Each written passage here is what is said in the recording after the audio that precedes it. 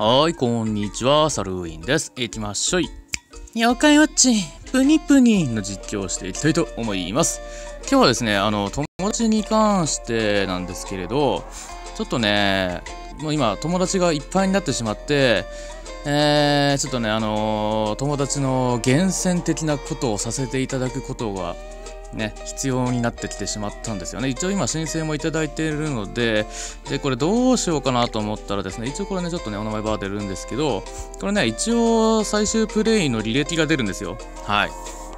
というわけで、ここですね、えー最終プレイが10日以上となっている方ですね。はい。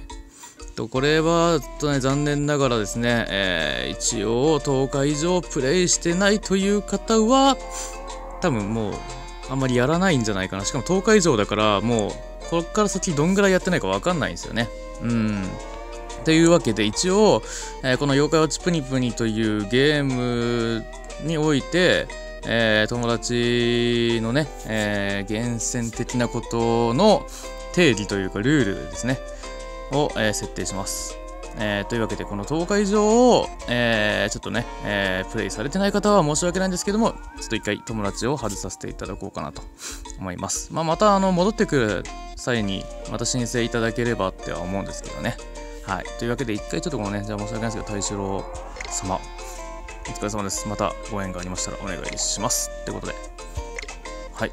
で、そして新たにね、このいただいている申請をいただきたいと思います。はい。はい、というわけで、よろしくお願いします。千葉滝さん。っていう感じで、えー一応ね、友達の、えー厳選作業を。てか今、29なんですよね。なんか中途半端ですね、29って。あと他に友達を増やす手段があるのかな一応ね、今はもうミッションで友達関連が終わったのかなでもまだ、うーん、まだね、そう、ミッションがね、終わってないところっていうか、卒さんこの辺とかは、ここはまだか。ですね、まだね、2ヶ月ちょいですからね。うん、まあだからそんなね、初めて2ヶ月程度の私が、なんか、ね、偉そうに厳選とかって言えないんですけど、うん、これまだ終わってないんだよね。ていうか、ニョロロンで3000が意外と出せないっていうね。そうだね、そろそろメインストーリーも進めていきたいね。うん。イベントにかまけてる感があるんで。うん。まあでも残ってるところだと友達増やせそうにないですね、今のところ。まあ多分、あ多分ストーリー解放していけばもっとあれなのかな。うん。てか、むしろ妖怪ウォッチ欲しいんですよね。妖怪ウォッチっていうかなんや？えーっと、まあ、妖怪ウォッチか。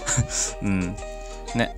ちょっとね、やっぱ補正効果つけたいんで、もうちょっとね。だからさ、ストーリーちょっと裏でいっぱいがっつりやろうかなと。また星集めも結構好きなんで、星集めもいろいろやってこようかなと思うんですけど、まだね、えーっとね、あのーまだ交換が終わってないんで、うん。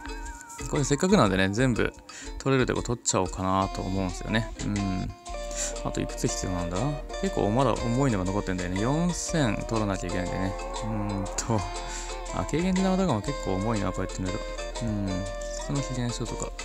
だから失敗したのは Y マネー取ってないで、先に Y マネーから取ったの失敗だったな。まあ、とにかくこのドリームコインとか交換するんだけど、あとスペシャルコインと秘伝書？は最低でも取りたいよね。うん。えー、ってわけで、まあ、あと水色コイン G も欲しいかな。S ランクとか出やすいっぽいしね。セイリーはね、まあ、技レベル上がるから取ってもいいんだけど、ファントムもか。うん。ですね。っていう感じですがね。はい。って感じで今回はね、一応その友達に関するルールの設定のお話でした。という感じで、えーよろしくお願いいたします。あ、そうだ。あ、まあいいか。後でやる。お疲れ様でした。バイバイです。